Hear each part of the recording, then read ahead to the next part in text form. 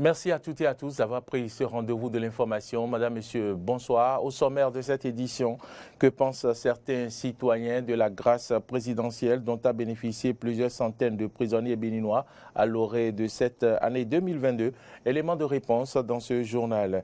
Dans cette édition, nous irons au marché de Tokan pour comprendre les raisons de son occupation partielle malgré l'installation de nouveaux hangars et boutiques.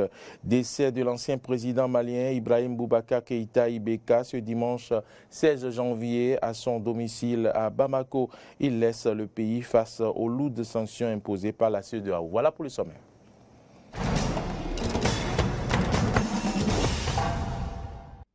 Bienvenue à toutes euh, et à tous. Vous le savez, le chef de l'État a gracié comme euh, à l'accoutumée plusieurs prisonniers à l'orée de cette nouvelle année 2022. Les prisonniers graciés sont auteurs d'infractions telles que le vol, l'escroquerie, coups et blessures. Euh, que pensent les citoyens de cette nouvelle grâce présidentielle? Certains se sont prononcés au micro de Docas à Wangan. Suivez plutôt. Waouh Moi, je suis vraiment content d'apprendre cette décision venant de la part du président Talon et j'en suis vraiment content. Et je le remercie. Je le remercie pour cette grande action qu'il est en train de prendre pour le pays euh, parce que cette grâce présidentielle en est aussi une. Je le félicite, je l'encourage aussi à aller de l'avant parce que c'est le point surtout qui nous concerne. Je crois que tous ceux-là qui ont été graciés par, euh, enfin, par sa personne euh, ne vont plus jamais retomber dans la disgrâce pour aller encore se retrouver en prison. La liberté n'a pas de prix. Gracier 499, c'est énorme. Oui. Et dans cette famille, j'imagine la joie qui va animer tout le monde. D'abord, il faut remercier le président, son Excellence Patrice Talon, pour ça. Je ne sais pas si de par le passé, le président a eu à faire à accorder à autant de personnes au Bénin. En tout cas, je n'avais pas un chiffre comme ça. Quand on entend que le chef de l'État a gracié 499 Béninois, qui doivent retrouver leur liberté, nous sommes tous contents. Mais la seule chose que moi, je n'ai pas encore compris, c'est que on a entendu, mais on ne voit jamais la liste pour savoir alors ceux qui sont dedans, ceux qui ne sont pas dedans. Nous allons toujours demander au gouvernement, le président Patrice Talon, son Excellence, si vraiment, éventuellement, nous puissions voir la liste de ces prisonniers gracieux, vraiment, il nous fera beaucoup plaisir. Notre chef de l'État, très bonne chose qu'il a fait on doit lui saluer pour ça. Moi, je vois que c'est le premier pas. Je crois bien que nous avons un très bon chef d'État. Et si le jour arrive et qu'il fait encore un effort de plus, je crois que ce serait bon. Je l'évoquais en titre, le marché de Tokan dans la commune d'Abomey-Calavi est l'un des marchés qui a bénéficié de la construction de nouveaux hangars et boutiques. Mais plusieurs mois après, le joyau n'est toujours pas utilisé et donc euh, n'est utilisé que partiellement. quelles sont les raisons qui expliquent cet état de choses? C'est un reportage de Clémence Tonoucoin. Le marché de Tokan est l'une des infrastructures dont a bénéficié l'arrondissement de Toba dans la commune d'Abomey-Calavi. Deux hangars de 12 places chacun et un module de trois boutiques y sont construits pour permettre aux populations de bien mener leurs activités commerciales. Seulement, plusieurs mois après les travaux, le marché n'est que partiellement occupé. À ce jour, plusieurs places sont encore vides. Les bonnes dames ont pris leur place ils sont, elles sont précipitées pour prendre ça. Et après, elles disent que le marché ne s'anime pas et se sont tous reculés. Il y a d'autres qui ont pris et qui veulent rester au bord de la voie. Tous ceux qui sont de ce côté maintenant, ils ont leur place dans le marché. Mais elles préfèrent rester au bord de la grande voie pour pouvoir vendre. La belle preuve, vous-même, vous allez voir ça maintenant. Le marché s'anime au bord de la voie. À l'intérieur, tout est vide. Donc il y a problème de bord de la voie et d'autres sont restés à la maison disant que le marché ne s'anime pas. Toutes les femmes qui ont pris les places ne sont pas encore mobilisées. Si toutes les places des hangars sont attribuées, ce n'est pas le cas pour les boutiques. La liste des femmes qui souhaiteraient occuper ces boutiques est déposée au niveau du chef quartier. Ces femmes disent n'attendre que les autorités communales pour l'attribution et la mise en service de ce joyau. Les boutiques, c'est au niveau des responsables. C'est ce qu'ils nous ont dit. C'est au niveau de, de la mairie. Que c'est eux-mêmes qui vont partager ça. C'est ce qu'ils nous ont dit. Après, ils nous ont dit de donner des noms. Et on a donné des noms chez le chef village. Donc la liste est avec le chef village. Je ne sais pas si c'est déjà à la mairie ou à l'arrondissement. Mais tout est déjà prêt. Il n'y a plus de boutiques vides. C'est juste, on va nous les attribuer. Mais jusqu'à présent, on attend. Nous souhaitons inaugurer le marché. Et pour cela, nous voulons que les autorités soient présentes à cette inauguration.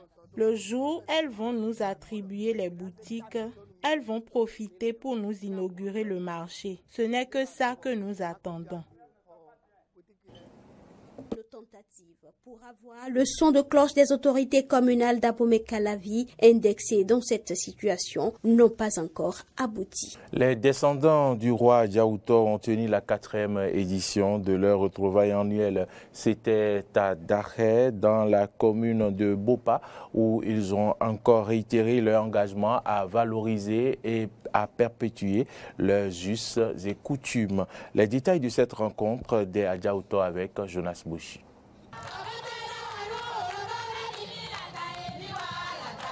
Voilà une quatrième fois de suite que les descendants d'Adjaouto tiennent le pari de se retrouver chaque année pour fraterniser. Des rencontres au cours desquelles ils s'emploient à mieux connaître leurs us et coutumes et surtout à harmoniser leurs pratiques ancestrales. Le président du comité d'organisation a dévoilé au début des manifestations la pratique ancestrale qui captera cette année l'attention des Adjaoutovi. La rencontre de ce jour, samedi 15 janvier 2022 vise essentiellement la consolidation de nos pratiques coutumières, en l'occurrence la sortie des bébés à Djaouto.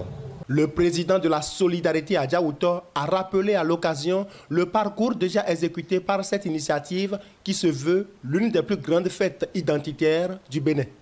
Démarré en 2019 à Bopa, ces retrouvailles ont commencé avec deux communes. Aujourd'hui, nous provenons de 15 localités appartenant à deux vastes départements.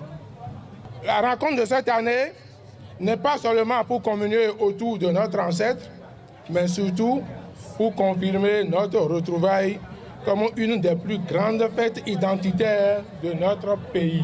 Depuis la troisième édition, une commission technique a été commise pour restaurer l'authenticité et la solennité de la cérémonie de sortie des enfants chez les descendants d'Adjaouto. Une mission de grande ampleur selon le président de cette commission. Les cérémonies rituelles de sortie d'enfants à Djaouto. Les différentes étapes de cette cérémonie, à commencer par le mariage, la grossesse, la naissance de l'enfant et les cérémonies qui s'ensuivent. Donc la tâche qui nous incombe est immense et complexe.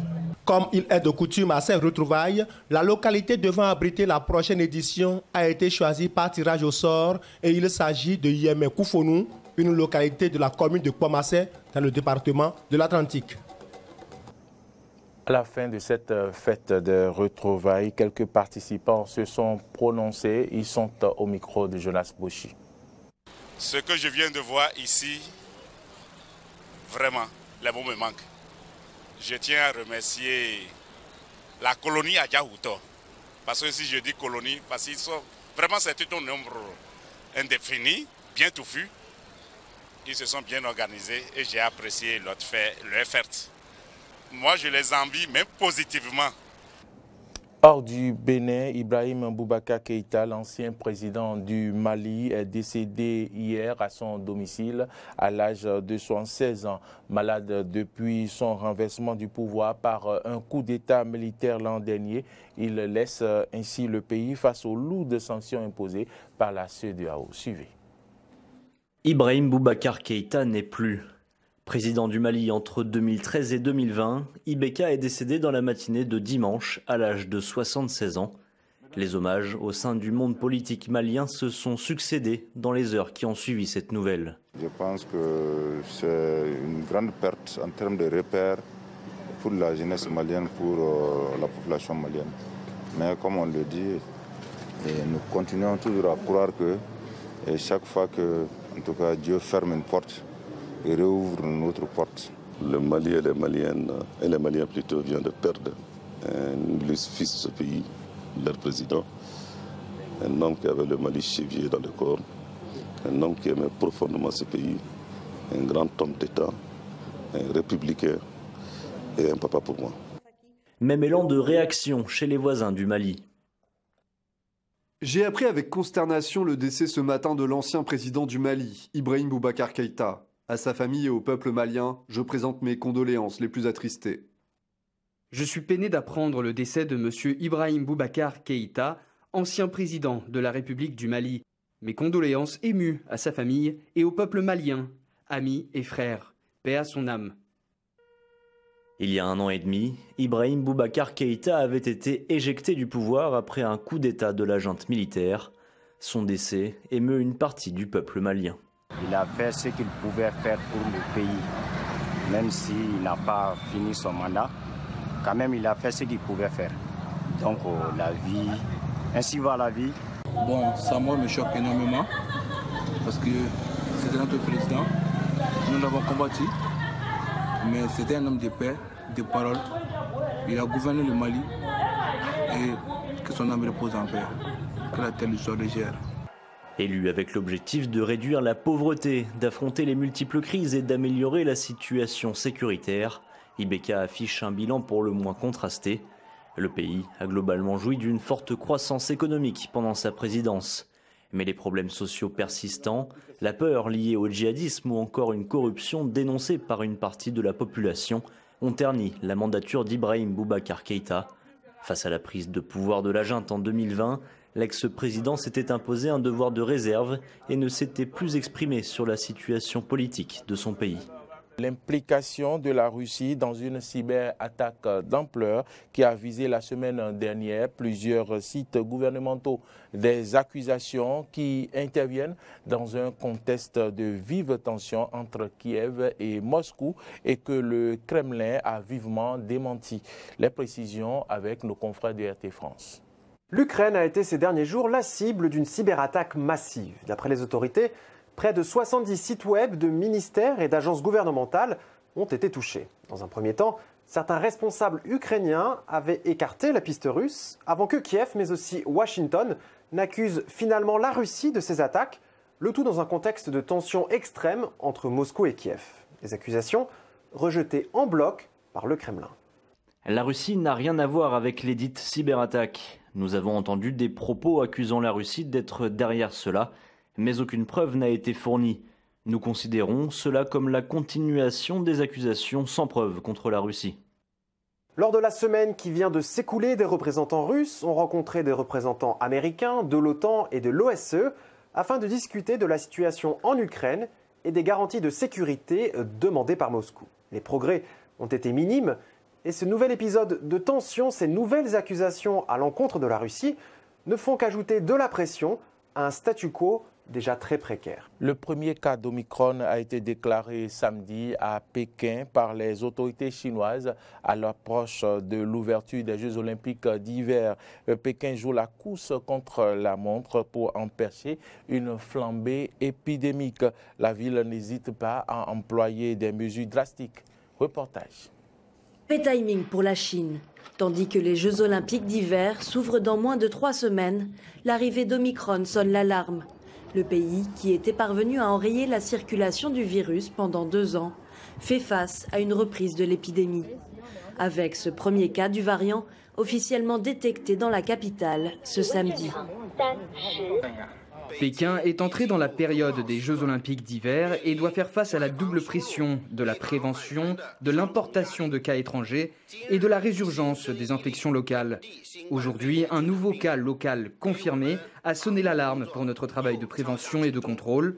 Les départements à tous les niveaux doivent maintenir un état d'urgence et renforcer la prévention et le contrôle de façon conjointe. Tianjin, Anyang, Shanghai ou Zhuhai, la liste des foyers épidémiques dans le pays s'allonge de jour en jour. Les autorités, qui restent fidèles à leur stratégie zéro Covid, déploient des mesures rapides mais coercitives. Fermeture des écoles, confinement immédiat et dépistage systématique de toute la population dès l'apparition des premiers cas. La ville la plus touchée par la résurgence du virus, Xi'an, connaît une accalmie au terme de trois semaines de confinement strict de ses 13 millions d'habitants.